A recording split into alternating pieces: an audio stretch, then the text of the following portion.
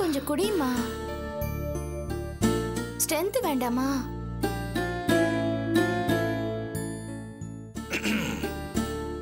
இதை பார்த்தா ஹாஸ்பிட்டலாவும் தெரியல. நாமெல்லாம் பேஷண்ட்டை பார்க்க வந்த மாதிரி தெரியல. ஏதோ ஃபேமிலி கெட் டுகெதர் மாதிரி இருக்கு. எங்க எதை பேசணும்னு உங்களுக்கு தெரியாதா? வர வர சுத்தமா விவஸ்தை கெட்டு போயிட்டீங்க. ஏய் நான் என்னடி தப்பா பேசிட்டேன்? அன்னி கொடுத்து வச்சவங்க பாரு நடுவில் உட்காந்துருக்காங்க நம்மலாம் சுத்தி நிக்கிறோம். நீ சேடி பொண்ணு மாதிரி ஜூஸ் புழிஞ்சு கொடுத்துட்டு இருக்க. அதிர்ஷ்டம் பண்ணுவாங்க. அன்னைக்கு கூட எனக்கு ஒரு நாள் காய்ச்சல் வந்துச்சு. கஞ்சி கேட்டேன் கொடுத்த. தொட்டுக்க ஊறுகாய் கேட்டேன் இல்லைன்னுட்ட அதையெல்லாம் எனக்கு இப்போ ஞாபகத்துக்கு வருது. ஏன்? நீங்க வேணா நெஞ்ச பிடிச்சிட்டு பாடுங்க. நான் வேணா சூஸ் புளிஞ்சு தரேன். அரஞ்சனா தெரியுமா? நீ எல்லாம் ஒரு ஆளு. நீ எல்லாம் ஜூஸ் புழிஞ்சு கொடுத்து அதை குடிக்கிற அளவுக்கு இது திருவேங்கடம் தரம் தரந்து போக மாட்டான்டா. இத பார். இந்த திருவேங்கடத்துக்கு ஏதாவது ஒண்ணுன்னா இந்த ஸ்ட்ரீட்டே ஸ்தம்பிச்சு போகும்டா. சிட்டியே டிராபிக் ஜாம் ஆயிடும். ஏன்? எதுக்கு? என்னடா கிறுக்குத்தனமா கேள்வி கேக்குற? ஆ? ஊர் நாட்டுல இருந்து வேன்லயும் லாரிலையும் தொண்டர்கள் வந்து குமிஞ்சிட மாட்டாங்க. சீரிய சிந்தனையாளன் திருவேங்கடத்துக்கு ஏதாவது ஒண்ணுன்னா இந்த தமிழ்நாடே கலங்கி போயிடும்டா. கடவுளே இந்த மனுஷனுக்கு என்னமோ ஆயிடுச்சு. இது எங்க போய் முடியுமோ தெரியல. ஏன்டி அழுத்துக்கிற? நான் இப்ப என்னடி சொன்னேன் அண்ணி ரொம்ப யோகமானவங்கன்னு சொன்னேன் பாரு அன்னிக்கு உடம்பு சரியில்லைன்னு சொன்ன உடனே ரெண்டு மாப்பிள்ளை ஓடி வந்துட்டாங்க. அதுல இந்த ஆட்டோக்காரன் இருக்கானே மருந்து வாங்கணும்னு போய் லாரியில மோதிட்டு பாரு வெளுப்புன்னு வந்து நிக்கிறான். அண்ணி நிஜமாவே நீங்க ரொம்ப லக்கி போதும் சித்தப்பா. எதுக்கு சம்மந்தம் இல்லாம பேசிட்டு இருக்கீங்க? நான் என்னமோ சம்பந்தம் இல்லாம பேசுறேன் அடடா என்ன இப்படி டிஸ்டர்ப் பண்ணிட்டு நின்னுட்டு இருக்கீங்க? போங்க போங்க.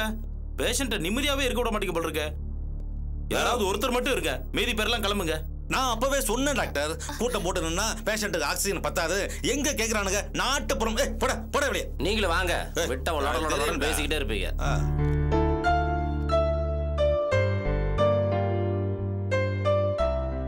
இப்போ எப்படிமா இருக்கு? இப்போ பரவாயில்ல. பெட்டரா இருக்கா? ரிப்போர்ட்ஸ்ல நல்ல இம்ப்ரூவ்மெண்ட் இருக்கு. நாளைக்கு டிஸ்சார்ஜ் பண்ணிடலாம். ஒன் மோர் திங் நீங்க டிஸ்சார்ஜ் ஆனதுக்கப்புறம் மெடிசன்ஸ்லாம் கரெக்டாக எடுத்து சரிங்க. இவங்களை ஜாக்கிரதையாக பார்த்துக்கோங்க ஓகே நாளைக்கு போயிடலாங்க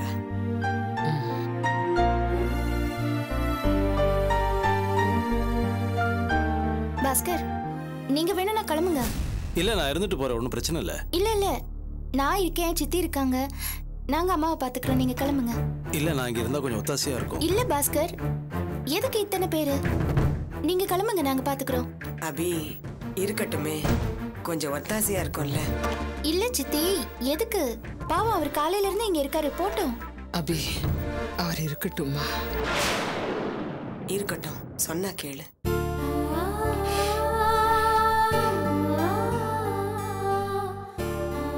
நீங்க எதுக்கும் கவலைப்படாதீங்க. எதுவும் தப்பா நினைச்சுக்காது இல்ல இல்ல. நான் போய் டாக்டரை பார்த்துட்டு வரேன்.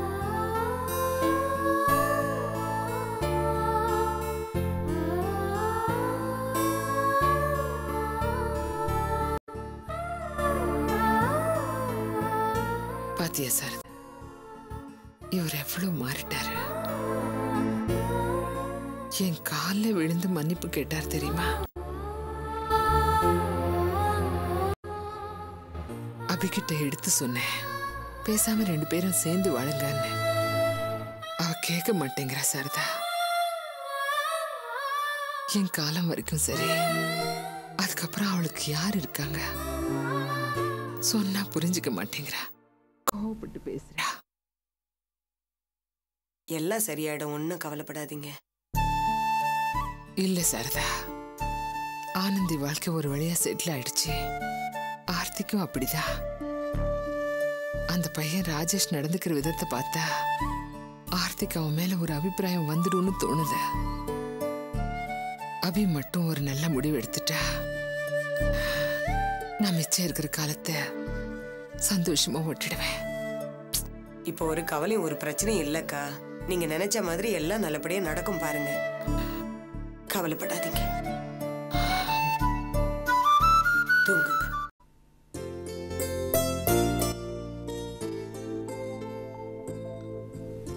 அஞ்சலி நல்லா காஃபி போடுவான்னு தெரியும். ஆனா இவ்வளவு நல்லா டீ போடுவான்னு எதிர்பார்க்கவே இல்லை. அவளுக்கு போட தெரிஞ்சதே வெறும் டீ காபி மட்டும்தான். ஆய் முடுற. உண்மையை சொன்னா யாருக்கு பிடிக்கும்? அர்ஜுன். சரி எல்லாரும் ஈவினிங் வெளியே போலாமா? என்னால முடியாது. எனக்கு கொஞ்சம் வேலை இருக்கு. கமான் கிஷோர் எனக்கும் வேலை இருக்கு. ரொம்ப நாள் கழிச்சு எல்லாரும் ஒண்ணா சேர்ந்திருக்கோம். அதான் வெளியில போலான்னு சொன்னேன். அதெல்லாம் கரெக்டு தான். பட் இப்போ கேஸ் கொஞ்சம் சீரியஸாக போயிட்டு இருக்கு. நான் போய் கொஞ்சம் டிஸ்கஸ் பண்ணி ஆகணும். சாரி நம்ம வேணா ஒண்ணு பண்ணலாம். சண்டே வெளியே போலாம். அதுக்கான பிளான் வேணா இப்ப போடலாம். ஏய் that's a good idea Sunday போலாமா? ம். கிரேட் அத சட்னி. போதும்.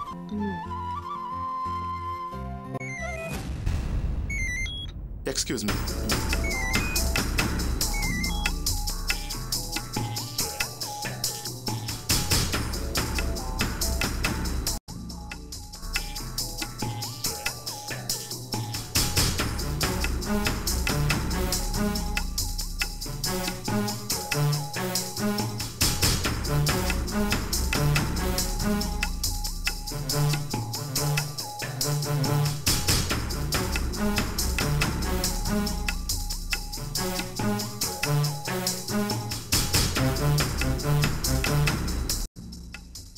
கிஷோர் ஃபோன் வந்ததுமே உன் ஃபேஸ் ரொம்ப டல் ஆயிடுச்சு. என்ன விஷயம்? எனி ப்ராப்ளம் இல்லை இப்போ ஒரு கேஸ் விஷயமா இன்வெஸ்டிகேட் பண்ணிட்டு இருக்கேன் இல்லையா? அந்த மேடியோட கொலை கேஸ் அது சம்பந்தமா தான் ஒரு ஃபோன் ஒன்று வந்தது. இந்த கொலையில யாரோ ஒரு பெண் இன்வால்வ் ஆயிருக்கிறதா அவன் சொல்றான்.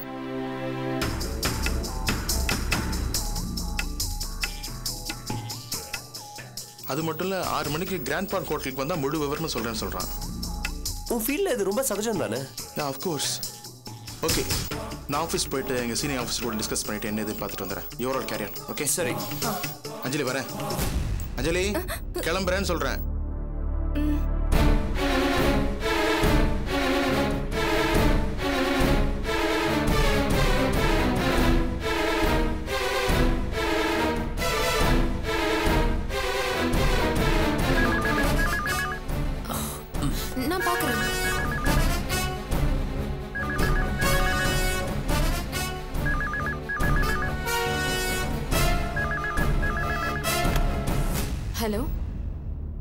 உஷா பயந்துட்டியா? கொஞ்சம் முன்னாடி கிஷோர்ட்ட ஃபோன்ல பேசினது நான் தான். எஸ் நான் தான் அவனை கிராண்ட் பார்க் ஹோட்டலுக்கு வர சொல்லியிருக்கேன். ஏய் யார் நீ? நானா? நீ ஒன்று பண்ண. ஃபோர் தேர்ட்டிக்கு என்னை மீட் பண்ணி பேசினேன்னு வையேன். கிஷோருக்கு விஷயம் போகாம பார்த்துக்கலாம் ஓகே ஹலோ முதல்ல நீ யாருன்றத சொல்லு. மறுபடியும் சொல்றேன். நீ ஃபோர் தேர்ட்டிக்கு என்னை மீட் பண்ணி பேசினா கிஷோர் கிட்ட உண்மையை சொல்ல மாட்டேன். ஓகே ஹலோ ஹலோ நான் ஹலோ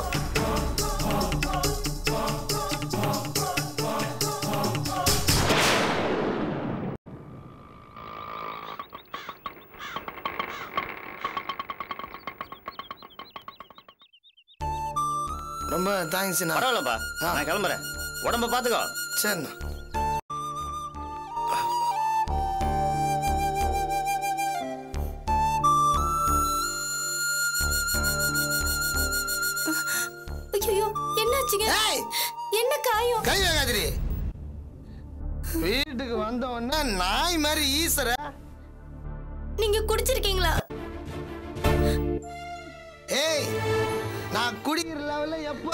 வச்சிரு இப்பெல்லாம் சருகிலேயே குளிக்கிறேன்.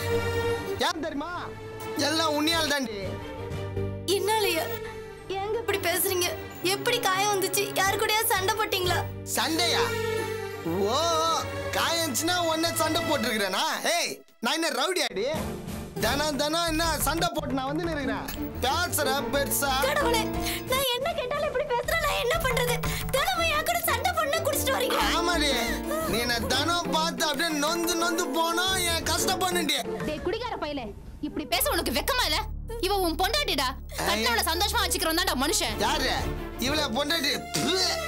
டேய் பாவி இப்படி பேசாதடா. நான் கழுகி போயிடும். நீ சும்மா இரு. இந்த பாரு கிளீனா சொல்றேன் கேட்டுக்க. நீ என் பொண்டாட்டி இல்ல. நீ நடுவுல வந்து நான்சென்ஸ் ஆர்த்தி தான் என் ஒய்ஃபு லவ்ரு எல்லாமே. அடி செருப்பால. இந்த எடுபட்ட பையன் என்ன பேச்சு பேசுறான் பாத்தியாடி? நீ சும்மா இருக்க.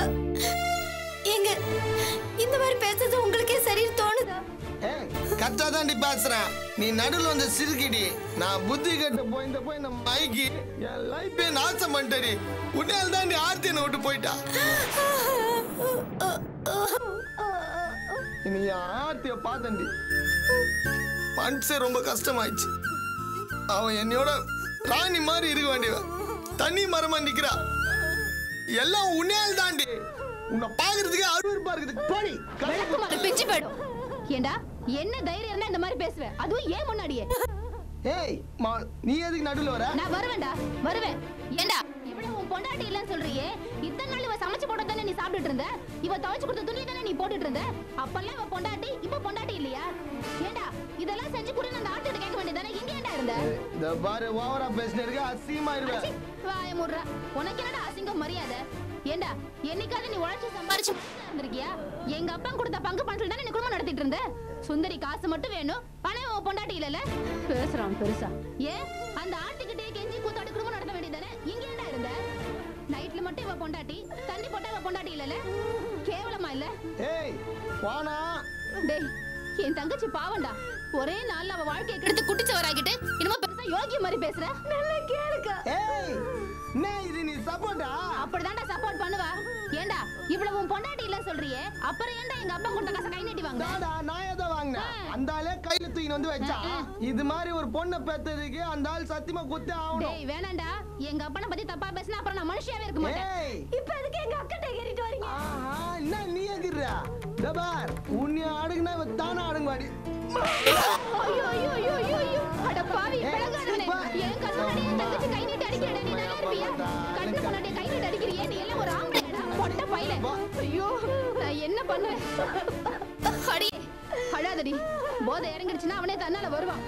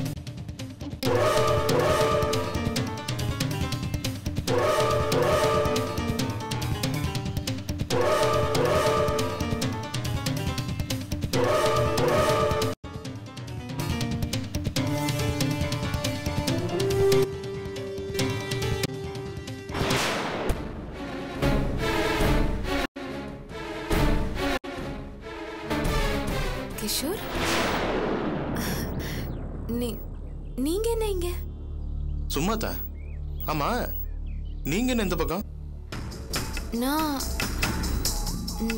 நான் இங்க சொல்லுங்க. ஒரு என் ஃப்ரெண்டை மீட் பண்றதுக்காக வந்தேன். ஃப்ரெண்டா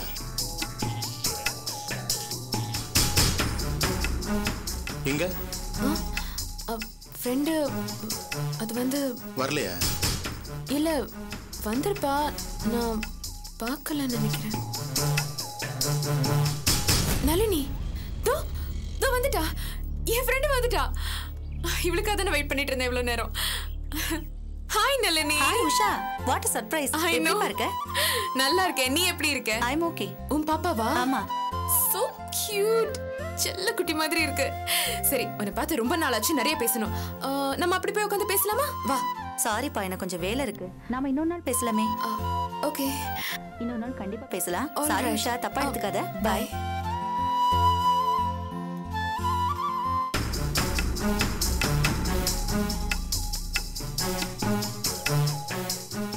இவங்க தான் நீங்க தேடி வந்த ஃப்ரெண்டா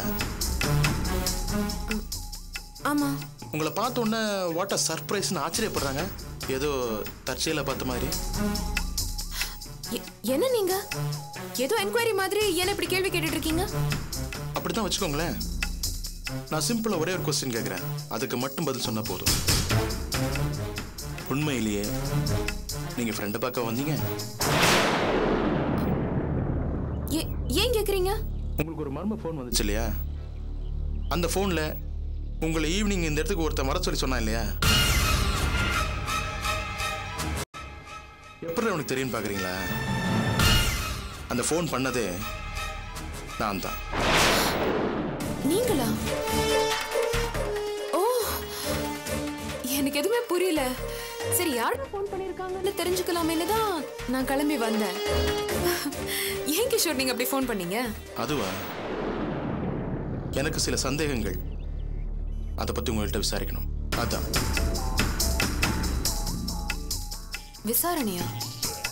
என்கிட்ட? என்கிட்ட என்ன? சொல்கிறேன் என் சந்தேகத்தை கிளியர் பண்ணிட்டீங்கன்னா நல்லது. மேடி கொலக்கேஸ் சம்பந்தமா வீட்டில் ஒரு சிடி வச்சிருந்தேன். அந்த சிடி எடுத்து உடைச்சிருக்கீங்க. ஏன் இப்படி பண்ணீங்க?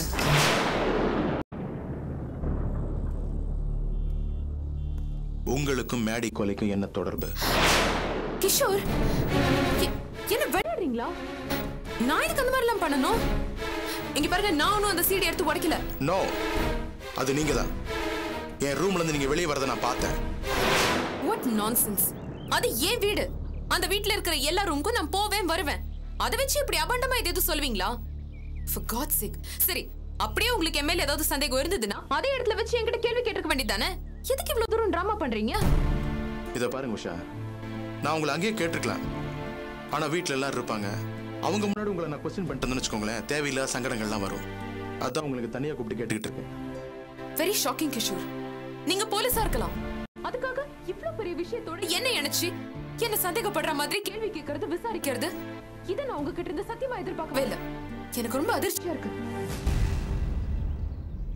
எனக்கு கூட தான் சில விஷயங்கள் அதிர்ச்சியா இருக்கு. உங்கள்கிட்ட எந்த சிக்கலும் இல்லாட்டி அந்த ஃபோன் காலை நீங்க அலட்சியப்படுத்திருக்கலாமே. அதுக்காக இவ்வளவு தூரம் வர வேண்டிய அவசியம் இல்லையே? ஓகே. நீங்க எனக்கு ஃபோன் பண்ணப்போ நான் உங்களுக்கு ஏதாவது பதில் சொன்னேனா? இல்ல. சொல்லலல்ல. ஏன்? என்ன ஒரு போலீஸ் ஆபீசர் இருக்கிற வீட்ல இந்த மாதிரி ஃபோன் கால்ஸ் யார் பண்ணாலும் வரலாம்.